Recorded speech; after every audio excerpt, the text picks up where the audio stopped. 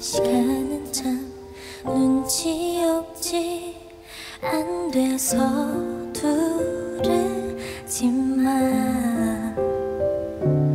못한 아쉬움 탓에 유난히 애틋해 수줍었던 우리 만남이 엊그제 같은데 아주 잠시만